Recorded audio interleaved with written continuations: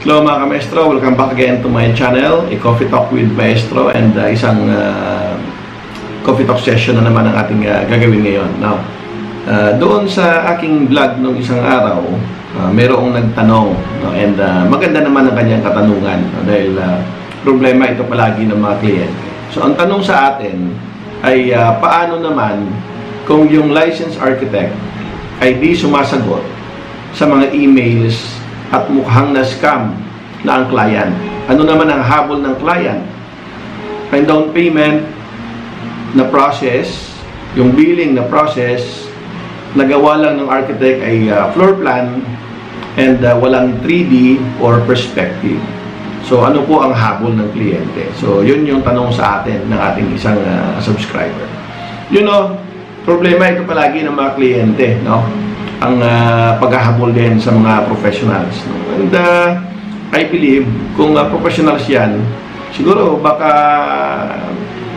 uh, pwedeng mangyari, pero hindi kadalasan na, na ganoon ang uh, attitude no? ng isang uh, professional dahil uh, ang isang uh, licensed and registered architect or engineers ay uh, bound ng kanilang uh, code of ethics. Okay?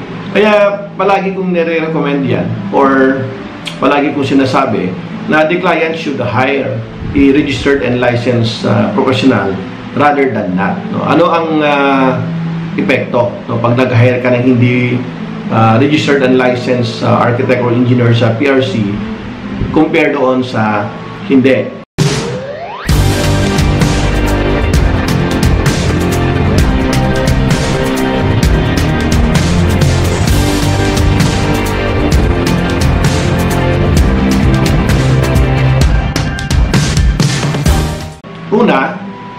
doon sa hindi licensed uh, professionals ng PRC, wala kang habol sa kanila uh, administratively sa Professional Regulation Commission dahil wala kang pwedeng i-complain na pwedeng i-suspend no, ang kanilang lisensya.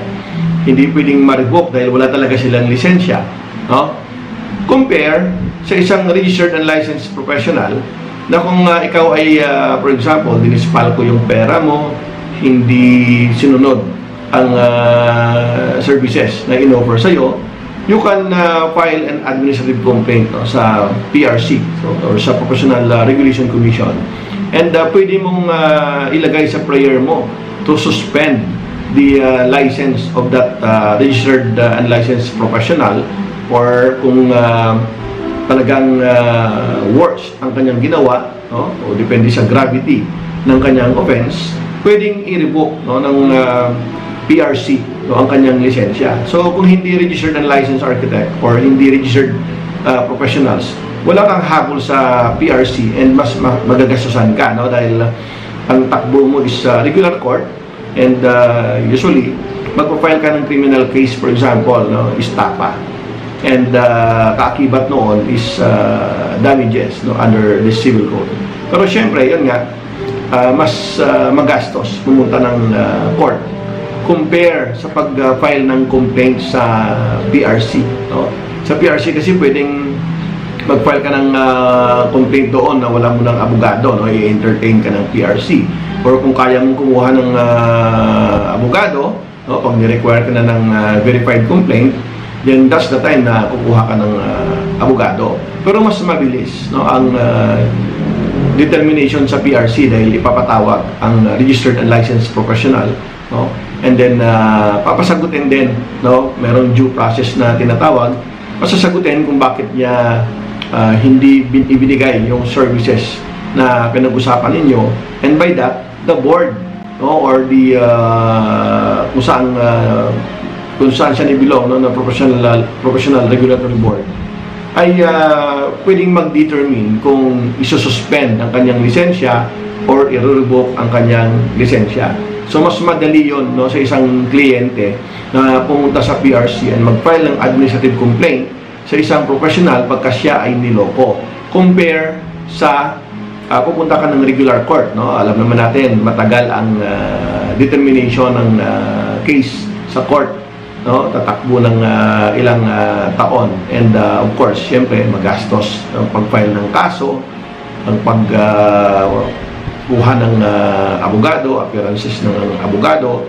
Pero kung wala kang choice, for example, dahil hindi naman registered and licensed professional ang iyong ah, kinuha na mag-design ng iyong ah, bahay no, or kung anong ah, project, wala kang choice kundi pumunta ka ng regular court no and file a case for uh, estapa no coupled with the damages no dahil hindi ka pwedeng tumakbo sa PRC dahil wala naman siyang lisensya na pwedeng i-revoke ng uh, PRC and wala ring uh, isususpend no kung uh, suspension ang pag-uusapan no? so yun ang pagkakaiba kung bakit uh, nire-recommend natin sa isang kliyente na ang kanilang uh, designer na kukunin dapat is registered and licensed professional from the Professional Regulation Commission no kasi may habol sila doon sa PRC para uh, ipasuspend or ipatanggal ang lisensya ng isang uh, professional pagka sila ay uh, niloko no?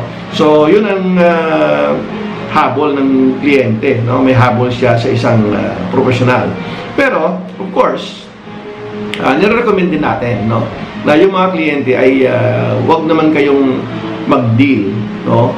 Either professional or non-professional. Wag naman kayong mag-deal sa kanila nang hindi sila nag-i-execute sa inyo ng uh, service uh, agreement no? dapat may kontrata no kasi syempre mahirap din no? pag wala kayong uh, mga terms and uh, conditions no and uh, of course pagka sila ay nag-receive din ng pera sa inyo dapat uh, humingi rin ng resibo no kung wala silang official receipt no kasi meron namang iba na walang official receipt you can ask for an acknowledgement receipt no ang importante doon ay uh, merong kasulatan na natanggap niya yung bayad and uh, ilagay doon no sa inyong kasulatan kung bayad yan para sa anong uh, stage ng kanyang uh, services para may record ka no and uh, later on pag nag-file ka ng case against that uh, professional or non-professional, doon ka nag-deal, meron ka mga proof of payment no as uh, documentary evidence no sa inyong uh, pinag-usapang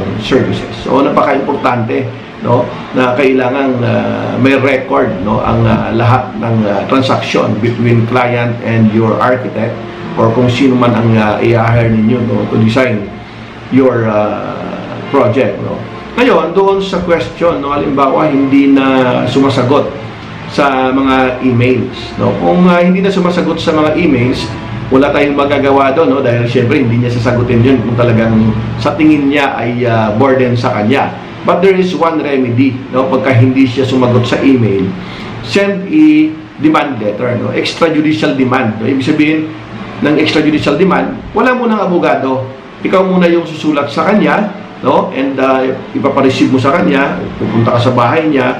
Kung hindi ka hinarap ng uh, iyong uh, architect for example, or kung sino man ang iyong designer, other professionals, pagka hindi ka hinarap, no, or ayaw nilang uh, tumanggap ng iyong uh, sulat, no, sa iyong uh, demand, no, na isuli for example yung pera dahil hindi nila ginawa ang services na yon, you can uh, go for the next remedy, no? Uh, mail mo yan na uh, either post office or mga LBC, allowed na ngayon yan sa court, yung mga LBC na yan. And uh, isend mo sa LBC with return card. No? So, ibig sabihin, pagka pinareceive sa kanya at hindi niya nireceive yun, lalagyan niya ng courier na refuse to uh, receive no? or refuse to accept. No?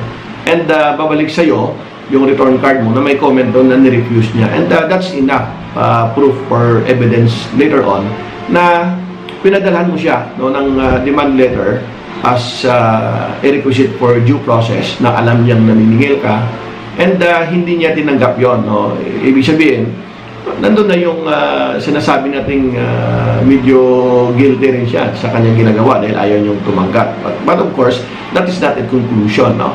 uh, we need to file a complaint pa rin either sa court no, or sa PRC and with that documents na hawak mo no, at least mayroon ka mga proof na hindi niya tinatanggap no, hindi niya uh, nire-reply yung mga previous emails kaya ka nag uh, demand no, or kung gusto mo after na extrajudicial demand pwede, pwede ka na magpadala ng demand letter through e-lawyer na no, na yung lawyer na magpadala sa uh, architect no, or sa professionals na hinire ninyo.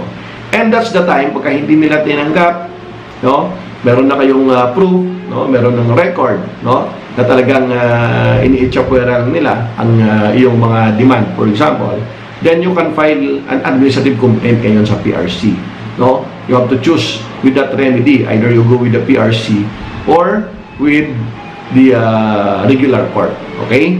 So, yun ang uh, habol no, ng kliyente na pwede siyang pumunta sa PRC. Pagka registered and licensed professional, ang kanyang hinay, no, pwede siya mag-file ng uh, revocation or suspension of license. No? Ngayon, kung gusto ng kliyente, for example, that uh, he wants to go to court for a criminal case, then pwede siyang mag-file ng istapa. No? Actually, pwede rin sabay, no?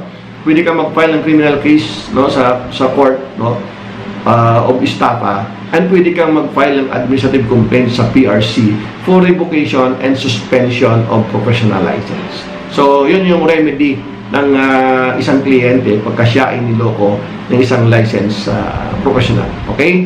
So, yung mga kliyente, no, kailangan lang uh, sinasabi ko na execute no, a service uh, agreement para meron kang uh, pinangahawakan terms and conditions ng services no, na i-render sa iyo ng iyong architect in return or exchange of uh, payment ng kanyang uh, services. Okay? So, hope na sanay uh, nakatulong no, at nasagot natin itong uh, tanong ng ating uh, isang subscribers and uh, hanggang sa susunod ng ating uh, session dito sa Coffee Talk with Maestro. Thank you.